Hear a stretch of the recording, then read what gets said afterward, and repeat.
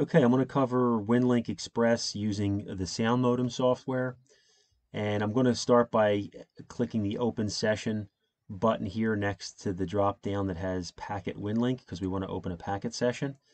And you'll notice that it opens the sound modem software, which I had already downloaded and installed, um, which is really only one executable that lives in a directory. And in the packet WinLink session window here, um, if I click settings, You'll notice that um, on this screen I have the packet TNC type selected to, uh, for KISS and then um, the packet TNC mode. I believe these were all these were defaults here. Um, serial port is TCP. Since we're not connecting to a physical TNC and this is a virtual TNC, it's just going to connect uh, right over the computer to to itself essentially. So that's the TCP port the local uh, loopback address, which is 127.0.0.1, and the port is 8100. They're defaults. And then this uh, line here is the location of where I have the sound modem software installed, and it'll automatically launch when I open a, a packet um, station, you know, setting session. Excuse me. I want to click cancel there. Um, so that's why when I clicked the open session up here, it opened up this window and then it launched the sound modem software. So I'm using a RigBlaster Advantage which you can see in the screen here.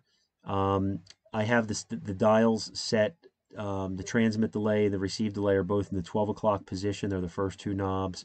The third knob is the Vox delay. I have it set in the 9 o'clock position. So with that, um, I'm going to initiate a connection by clicking Start.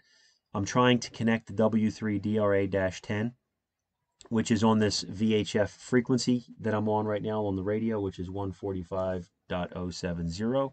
So I'm going to click Start. Um, you're going to hear it initiates a connection.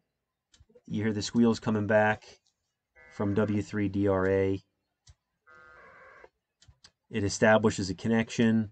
You can see that in the packet window on the right. Um, it should send a message. You can see the green bar going across. I had a message in the outbox. Once it completes the message, you're going to see it disconnect here shortly. Um, if since there's nothing to receive, it says disconnecting. And if you look in the window on the left, sound modem software, the nice thing with this software is you could actually use it as a troubleshooting tool because you can see different uh, stations coming back. And in fact, in the bottom of the screen here, you can see there's a, Whiskey Charlie 2 Kilo dash 31. That's like looks like a digipeater in Hamilton, New Jersey, which is uh, a little ways from me in South Jersey. I'm in North Northern Delaware. But this is nice because this will decode the data coming back on the packet frequency. You could use that kind of for troubleshooting as well. So this successfully sent uh, this message. It would have successfully successfully received messages as well. Um, now we're going to go through if we don't have the um, settings set correctly on, the RigBlaster Advantage or um, this uh, Tigertronics if you're using a SignaLink box that works similar. So I, I discovered these settings by a little trial and error and I wanted to um, kind of cover that next. Before we go into that, though, I wanted to um, tell you when I started recording this, if you look up in um, the settings here under the sound modem, you look at devices. When I first launched this and tried initiating con a connection, my radio was transmitting. I was hearing audio coming back, but in the sound modem window here, I didn't see any data. And that's because the input device had, for some reason, changed. I was changing around some microphones here, so it uh, it probably messed it up. And I had it set to desktop microphone, so it was not able to decode anything coming over the radio through the sound card through the RigBlaster because the input device was pointing to the wrong device. So you want to make sure that these are both pointed. In this case, I have a RigBlaster. If you had a Tigertronics uh, SignaLink, you'd see that listed here, or a similar USB device. Um, so this is a really good solution if you do not have a physical TNC like a Cantronics KPC3 or, or a similar physical TNC plugged into the computer. And uh, but you do have a USB device that you're using for other digital modes. Uh, this is a this is a good option. So next we're going to cover what you would see if these settings were not set correctly. So we'll cover that here in a minute.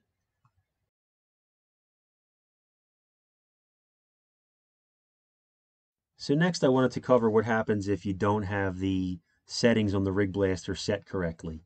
And the one that I noticed that caused me initial problems was the Vox delay, which is the third knob on the um, device. um, to the third to the right. And I have that set to the three o'clock position uh, now, if that were, obviously, if that were a clock.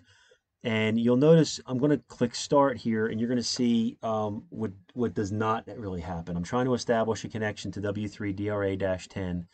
And as you're listening to me transmit or watching the, the RigBlaster transmit and looking at the sound modem window on the left, um, you'll kind of see what's happening here. So I'm hitting transmit, I'm hitting start. The radio transmits, it stops, starts transmitting again, stops, starts transmitting again. You can see now, stops, and then it does it one more time. And shortly it should disconnect here without connecting in a minute. Yeah, so it disconnects. And then as it disconnects, now I hear, and you can see in the left-hand window, I see W3DRA-10 um, coming back.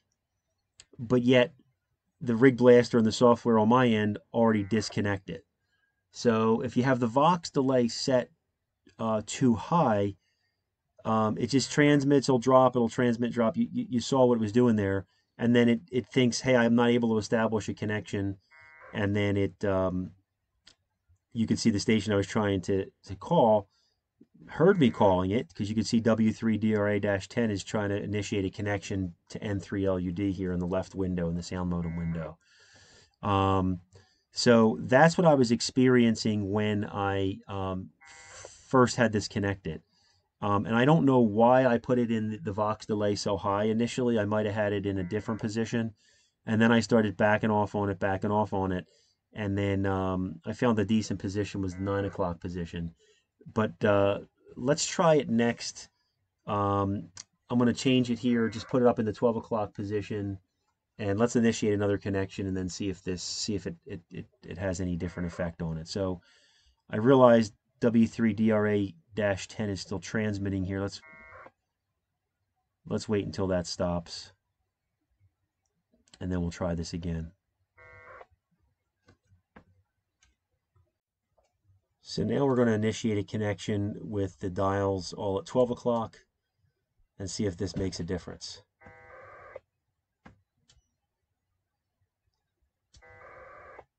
And you can see that actually did connect as well.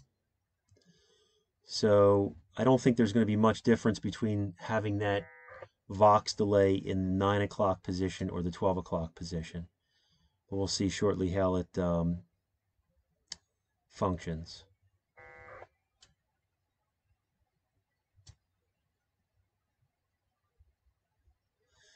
Yeah, it still might be a little high.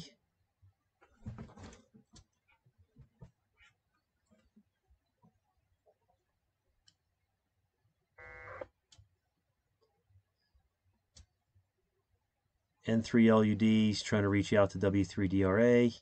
And it looks like it established a connection. And you can see we had the welcome message there, but I don't know that it's going to be able to negotiate if it has any data to send or receive. Um, and then you see the other station there from Hamilton, New Jersey pipe in because they're on the same frequency, but um, that audio sounds a little different. So in this in this setting, it looks like in the 12 o'clock position, the computer on my side is trying to establish a connection. Um, W3DRA is is responding, and then I'm responding back, but it's it, I think the delay is just still a little too much that's causing a causing an issue here. So I'm gonna so I don't tie up that RMS station. I'm just gonna stop this because I don't want this to eventually time. It'll eventually probably time out, but I'm just gonna I'm just gonna push stop so that it stops here, and then it should disconnect here shortly.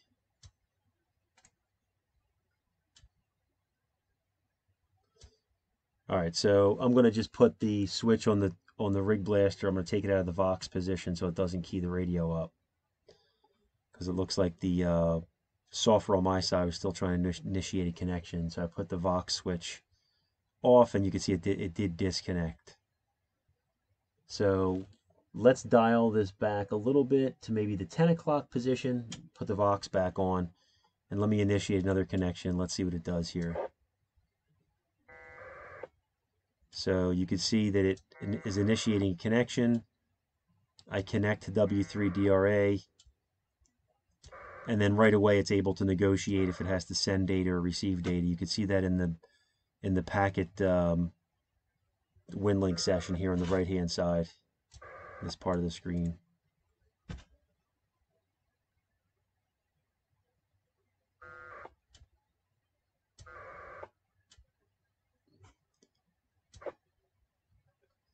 So you can see uh, some information coming back from the RMS station